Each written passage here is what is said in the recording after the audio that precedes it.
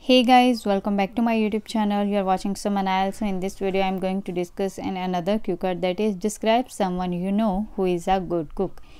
ਕਿਸੇ ਬਾਰੇ ਗੱਲ ਕਰਨੀ ਹੈ ਜਿਹੜਾ ਤੁਹਾਨੂੰ ਲੱਗਦਾ ਹੈ ਕਿ ਇੱਕ ਗੁੱਡ ਕੁੱਕ ਹੈ ਜਾਂ ਸ਼ੈਫ ਆ who this person is ਕੌਣ ਹੈ ਉਹ how you know him or her ਕਿਵੇਂ ਜਾਣਦੇ ਹੋ what kinds of food he or she cooks ਕਿਦਾਂ ਦਾ ਖਾਣਾ ਉਹ ਬਣਾਉਂਦਾ ਹੈ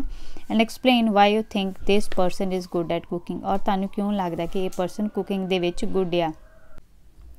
it is irrefutable that having good culinary skill is a grace of God ਇਹਦੇ ਵਿੱਚ ਕੋਈ ਸ਼ੱਕ ਨਹੀਂ ਹੈ ਕਿ ਜਿਹੜੇ ਕਲਨਰੀ ਸਕਿੱਲਸ ਨੇ, ਮਤਲਬ ਜਿਹੜੇ ਕੁਕਿੰਗ ਸਕਿੱਲ ਨੇ, ਇਹ ਇੱਕ ਗੋਡ ਦੀ ਗ੍ਰੇਸ ਹੈ ਕਹਿੰਦਾ ਮਤਲਬ ਪਰਮਾਤਮਾ ਦੀ ਕਿਰਪਾ ਦੇ ਨਾਲ ਹੀ ਕੁਕਿੰਗ ਸਕਿੱਲ ਜਿਹੜਾ ਉਹ ਕਿਸੇ ਨੂੰ ਮਿਲਦਾ ਆ। And this is one of the mandatory skill to learn for the survival ਇਹ ਇੱਕ ਬਹੁਤ ਇੰਪੋਰਟੈਂਟ ਜ਼ਰੂਰੀ ਸਕਿੱਲ ਹੈਗਾ ਕ੍ਰੂਸ਼ੀਅਲ ਸਕਿੱਲ ਹੈਗਾ ਆ। ਜੇਕਰ ਕਿਸੇ ਨੇ ਵੀ ਸਰਵਾਈਵ ਕਰਨਾ ਤਾਂ ਆਬਵੀਅਸਲੀ ਉਹਨੂੰ ਥੋੜੀ ਬਹੁਤ ਕੁਕਿੰਗ ਆਉਣੀ ਚਾਹੀਦੀ ਹੈ ਉਹਦੇ ਸਰਵਾਈਵਲ ਦੇ ਲਈ। ਸੋ ਐਵੇਂ ਕਰਕੇ ਤੁਸੀਂ ਦੀ ਜਰਨਲ ਲਾਈਨ ਬਣਾ ਸਕਦੇ ਹੋ। Here I would like to shed some light on a person who is a good cook ਅੱਜ ਗੱਲ ਕਰਾਂਗੇ ਇੱਕ ਪਰਸਨ ਦੇ ਬਾਰੇ ਜਿਹੜਾ ਇੱਕ ਗੁੱਡ ਕੁਕ ਆ, ਉਹ ਤੁਸੀਂ ਕਿਸੇ ਬਾਰੇ ਵੀ ਲੈ ਸਕਦੇ ਹੋ। She is none other than my maternal aunt ਉਹ ਮੇਰੇ ਮਾਮੀ ਜੀ ਆ। She is one of the fantabulous cook I have ever seen in my life ਉਹ ਬਹੁਤ ਹੀ ਵਧੀਆ ਫੈਬੂਲਸ ਔਰ fantabulous both have same meaning ਤਾਂ ਉਹ ਬਹੁਤ ਹੀ ਵਧੀਆ ਕੁਕ ਜਿੰਨੇ ਵੀ ਮੈਂ ਹੁਣ ਤੱਕ ਜਿਨ੍ਹਾਂ ਨੂੰ ਮਿਲ ਚੁੱਕੇ ਆ every dish she makes is finger licking ਉਹ ਜਿਹੜੀ ਵੀ ਚੀਜ਼ ਬਣਾਉਂਦੇ ਉਹ ਫਿੰਗਰ ਲਿਕਿੰਗ ਹੁੰਦੀ ਹੈ ਜਿੱਥੇ ਜਿੱਥੇ ਮੈਂ ਬਲੈਕ ਵਰਡਸ ਲਿਖੇ ਹੋਇਆ ਇਹਦਾ ਮਤਲਬ ਜਾਂ ਤਾਂ ਉਹ ਈਡੀਅਮ ਆ ਜਾਂ ਵੋਕੈਬਲਰੀ ਆ। ਫਿੰਗਰ ਲਿਕਿੰਗ ਕਹਿਣ ਦਾ ਮਤਲਬ ਬਹੁਤ ਹੀ ਜ਼ਿਆਦਾ ਟੇਸਟੀ ਹੁੰਦੀ ਹੈ as far as I know ਇੱਕ ਈਡੀਅਮ ਹੁੰਦਾ ਜਿਹਦਾ ਮਤਲਬ ਕਿ ਜਿੰਨਾ ਤਾਂ ਮੈਨੂੰ ਪਤਾ ਹੈ, ਜੇਕਰ ਮੈਂ ਸੱਚ ਕਹਾ ਜਿਹੜਾ ਮੇਰੇ ਐਕਸਪੀਰੀਅੰਸ ਤੋਂ ਹੈ ਸ਼ੀ ਨਾਟ ਸੋਲਲੀ ਸੋਲਲੀ ਮਤਲਬ only has gifted hand in Indian cuisines but also in Chinese and Italian ਉਹਨਾਂ ਦਾ ਗੁੱਡ ਹੈਂਡ ਜਿਹੜਾ ਉਹ ਸਿਰਫ ਇੰਡੀਅਨ ਕੁਜ਼ੀਨ ਦੇ ਵਿੱਚ ਨਹੀਂ ਹੈ, ਨਾਲ ਦੇ ਨਾਲ ਚਾਈਨੀਜ਼ ਐਂਡ ਇਟਾਲੀਅਨ ਦੇ ਵਿੱਚ ਵੀ ਆ ਹੈਜ਼ ਗਿਫਟਡ ਹੈਂਡ ਅਗੇਨ ਇੱਕ ਇਡੀਅਮ ਹੁੰਦਾ ਹੈ, ਜਿਹਦਾ ਮਤਲਬ ਹੁੰਦਾ ਆ ਐਕਸਪਰਟ ਹੋਣਾ ਕਿਸੇ ਚੀਜ਼ ਦੇ ਵਿੱਚ। ਕੁਜ਼ੀਨਸ ਦਾ ਮਤਲਬ ਹੁੰਦਾ ਹੈ food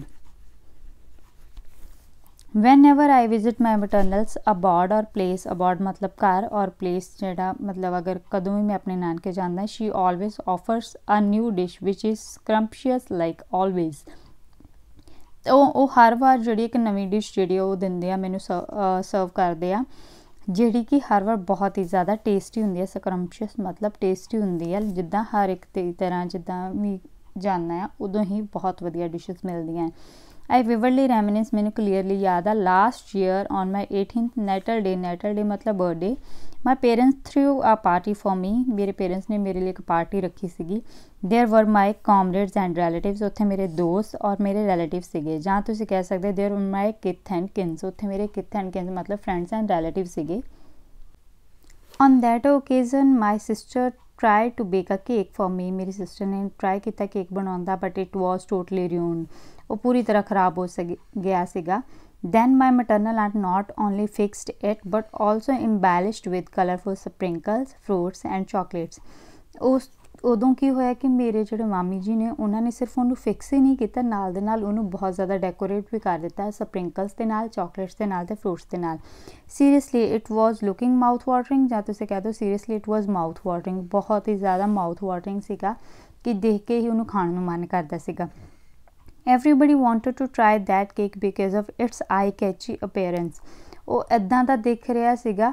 ਕਿ ਲਾਈਕ ਤੁਸੀਂ ਕਹਿ ਸਕਦੇ ਹੋ ਕਿ ਉਦੋਂ ਐਵੇਂ ਲੱਗ ਰਿਹਾ ਸੀਗਾ ਕਿ ਇਹਨੂੰ ਹੁਣੇ ਖਾ ਲਿਆ ਜਾਏ। ਉਹਦੀ ਆਈ ਕੈਚੀ ਅਪੀਅਰੈਂਸ ਸੀਗੀ ਇਦਾਂ ਦਾ ਉਹਦੀ ਲੁੱਕ ਸੀਗੀ। ਜਾਂ ਆਈ ਕੈਚੀ ਲੁੱਕ ਕਹਿ ਸਕਦੇ ਹੋ। ਵੈਨ ਗੈਸਟ ਟੇਸਟਡ ਇਟ ਜਦੋਂ ਗੈਸਟ ਨੇ ਉਹਨੂੰ ਟੇਸਟ ਕੀਤਾ ਦੇ ਵਰ ਬੋਲਡ ਫਰਮ ਦਾ ਬਲੂ ਸਾਰੇ ਜਿਹੜੇ ਉਹ ਸਰਪ੍ਰਾਈਜ਼ ਹੋ ਗਏ ਸੀਗੇ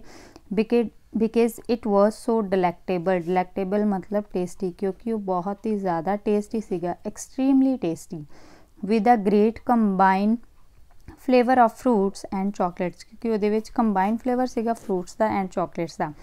I always call my aunt jack of all trade as she knows cooking driving painting and dancing ਹਮੇਸ਼ਾ ਮੈਂ ਆਪਣੇ ਆਂਟ ਜਿਹੜੇ ਨੇ, ਜਾਂ ਮਾਮੀ ਜੀ ਜਿਹੜੇ ਨੇ, ਉਹਨਾਂ ਨੂੰ ਜੈਕ ਆਫ ਆਲ ਟ੍ਰੇਡ ਕਹਿੰਨੀ ਆ ਜਾਂ ਕਹਿੰਦਾ ਹੈ, ਕਿਉਂਕਿ ਉਹਨਾਂ ਨੂੰ ਬਹੁਤ ਸਾਰੇ ਸਕਿੱਲਸ ਆਉਂਦੇ ਨੇ, ਜਿਵੇਂ ਕਿ cooking driving painting and dancing jack of all trade ਇੱਕ ਈਡੀਅਮ ਹੁੰਦਾ ਹੈ ਜਿੰਨ ਕੋ ਬਹੁਤ ਜ਼ਿਆਦਾ ਲਾਈਕ ਸਕਿੱਲ ਹੁੰਦੇ ਆ ਕਿ ਉਹਨੂੰ ਹਰ ਚੀਜ਼ 'ਚ ਐਕਸਪਰਟ ਹੁੰਦਾ ਆ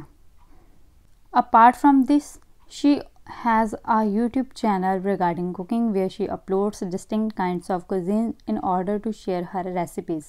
So ਉਸ ਤੋਂ ਇਲਾਵਾ ਉਹਨਾਂ ਦਾ ਇੱਕ YouTube ਚੈਨਲ ਜਿੱਥੇ ਉਹ ਕੁਕਿੰਗ ਦੇ ਬਾਰੇ ਵੀਡੀਓਜ਼ ਬਣਾ ਕੇ ਪਾਉਂਦੇ ਆ ਅਪਲੋਡ ਕਰਦੇ ਆ, ਅਲੱਗ-ਅਲੱਗ ਤਰ੍ਹਾਂ ਦੇ ਫੂਡਸ ਦੀਆਂ ਕੁਜ਼ੀਨਸ ਦੀਆਂ ਤਾਂ ਕਿ ਉਹ ਆਪਣੀਆਂ ਰੈਸਿਪੀਜ਼ ਜਿਹੜੀਆਂ ਨੇ ਉਹਨੂੰ ਸ਼ੇਅਰ ਕਰ ਸਕਣ to capital this is again an idiom for ending this is the person who is the best cook ਇਹ ਉਹ ਪਰਸਨ ਹੈ ਜਿਹੜਾ ਇੱਕ ਬੈਸਟ ਕੁੱਕ ਆ and I would love to learn this skill from her ਔਰ